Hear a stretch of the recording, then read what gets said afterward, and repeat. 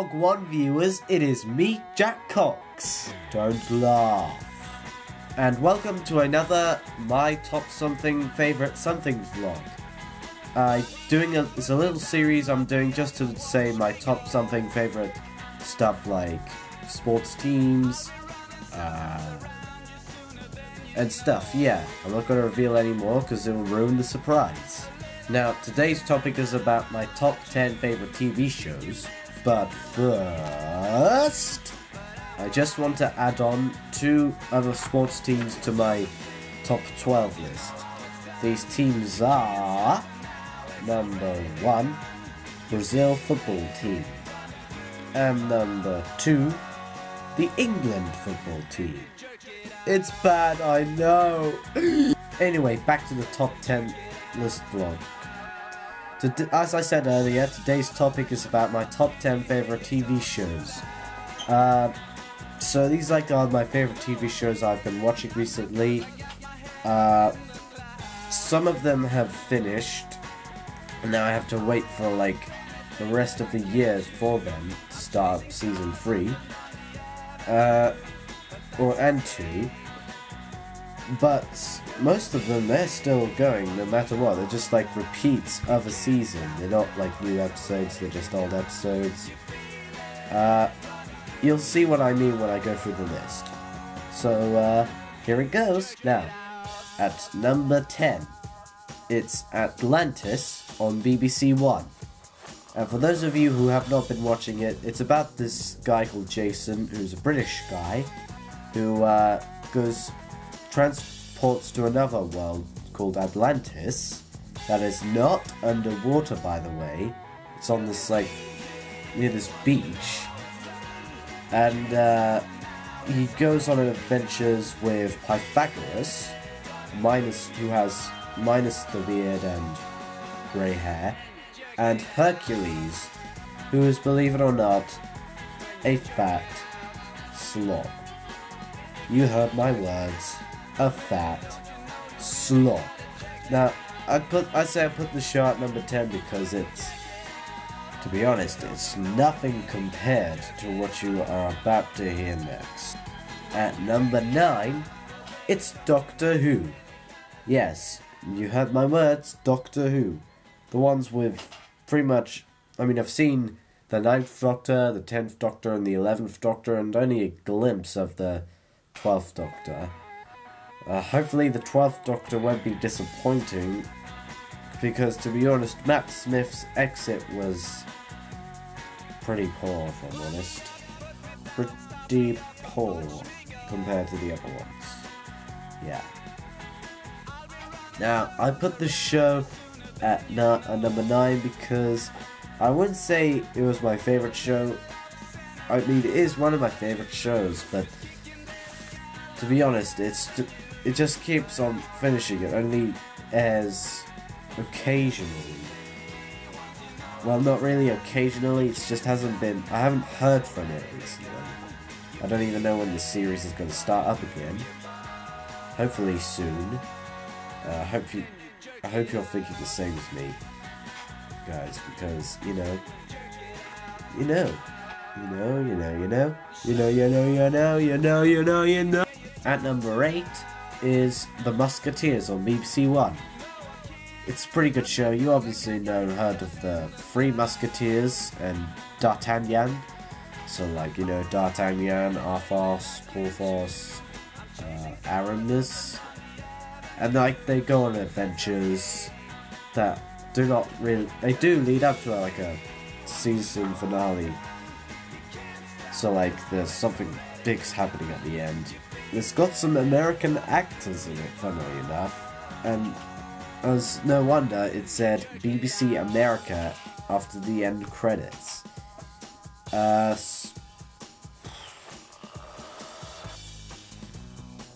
I mean, it's not really much sword fighting as in other media, but what the hell, it's a good show. At number 7 is South Park.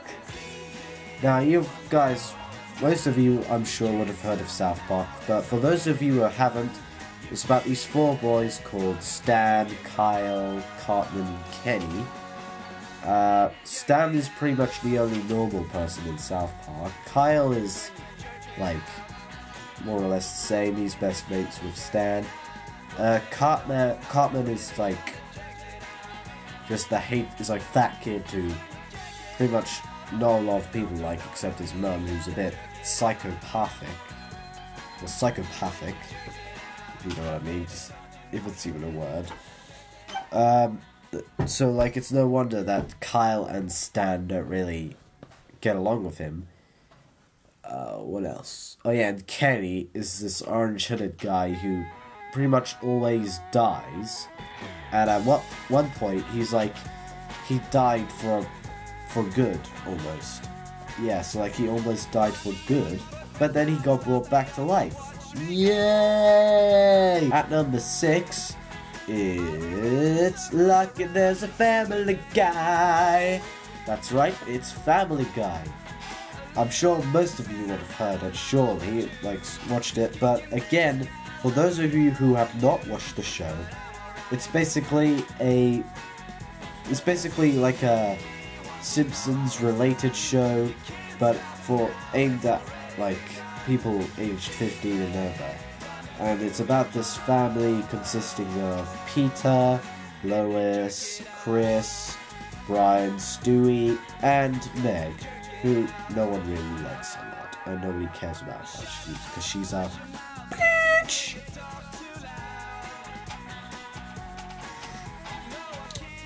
So uh, basically, uh, yeah, it's pretty much like The Simpsons, but aimed for 15 year olds and over. It's got like quite a lot of gags and jokes. At number 5, it's American Dad. Yeah. Now, uh, I said earlier in this video that it would be a top 10 list, but when I made a mistake, and I just remembered another favorite show of mine, which is American Dad, so I'm making this the top 11 favorite shows. Now, American Dad, it's made by the same people who made Family Guy, and again, it's about a family, cause like Amer- typical American family, but the dad works in for the CIA. Uh, the characters are Stan, um, Roger, Francine.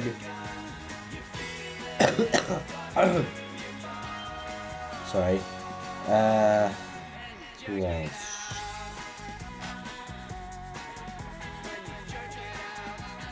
Well, I can't remember any of the other characters' names because I haven't been watching it a lot. But it's a pretty funny show. In my opinion, it's a way lot funnier than Family Guy because it's got less gags. So it's got like, it's got less of, oh my god. It's worse than the time when Peter tried to pretend to be a Hasidic Jew to get off work. You know, it's got less of those kind of gags. Which is pretty good if I'm honest. At number four, it's The Big Bang Theory, and it's pretty, and it's it's the same by the same people who make Two and a Half Men. The characters are it's about nerds and a girl. It's about Sheldon, Leonard, Raj, and Howard, and Penny, who's like not is the least nerdiest character. She's not really a nerd. She's like the hot chick of the show, and all of the nerds fancy her. But the person nerd who fancies her the most is Leonard, and at one point, she he goes out with her, but then they break up. That's all I'm gonna say about the show. I'm not gonna give any more away. Just watch it and then just find out other stuff for yourself. At number three, it's Marvel's Agents of Shield. Uh, sorry, I'm only. I was actually. I was only joking. It's two and a half men. Now, there are like in like the older seasons, the characters were Alan, Jake, and Charlie. But then the newest seasons, Alan and Jake are still in it, but then Charlie. Uh, warning, spoiler alert, dies apparently. So he gets replaced by Ashton Kutcher. Yep, that's right, Ashton Kutcher.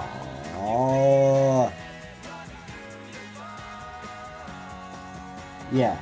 Now, I made a mistake in the last bit because actually at number three it was Marvel's Agents of Shield, but like, I said, it's the top eleven, so you know. Yeah, top three is Marvel Agents of Shield. It's like a spin-off series of the Marvel films.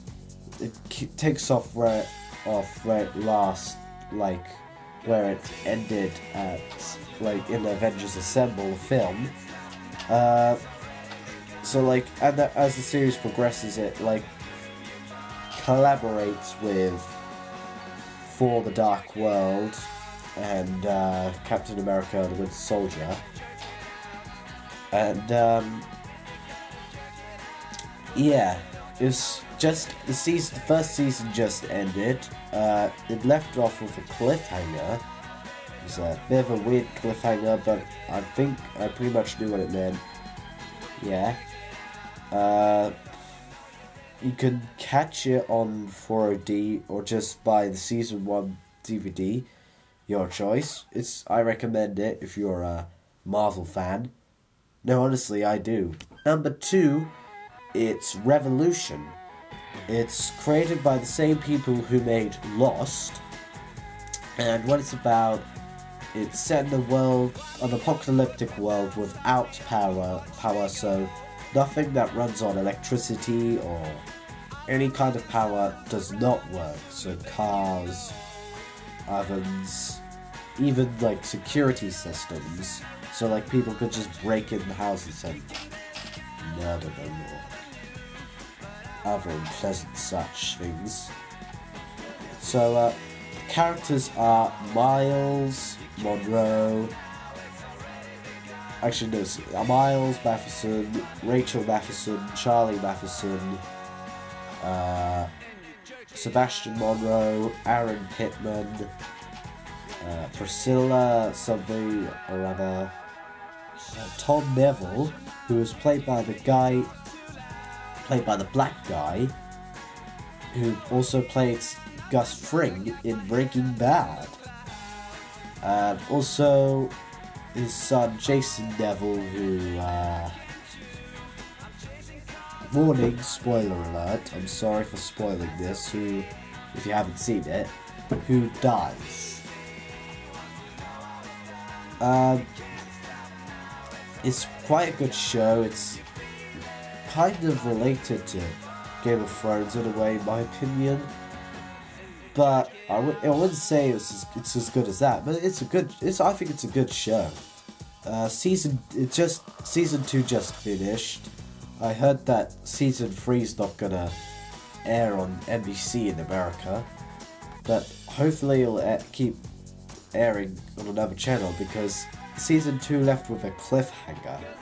It was a bit of a freaky cliffhanger, if I do say so myself, but still, I want to see what happens next, like involving Miles and company, you know? Finally, it has all come to this. And number one, it is the one, the only, the first drama I have watched. It's Arrow.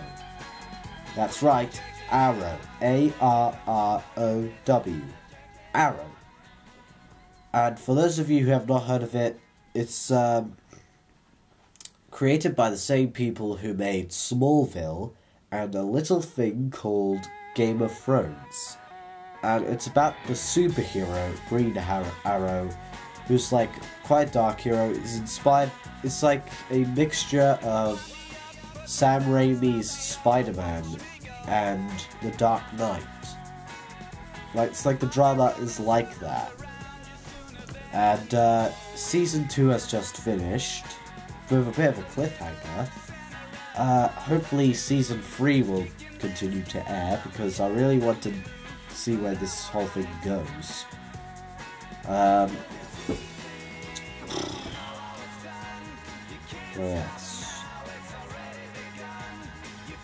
And uh, there are no stars from Game of Thrones or Smallville, sadly. But still, it's a good show. I mean, in like the episodes, they show parts of when Oliver Queen. In fact, let me start again. This basically the story. The superhero origin is that Oliver, this millionaire playboy called Oliver Queen, gets stranded on an island for five years.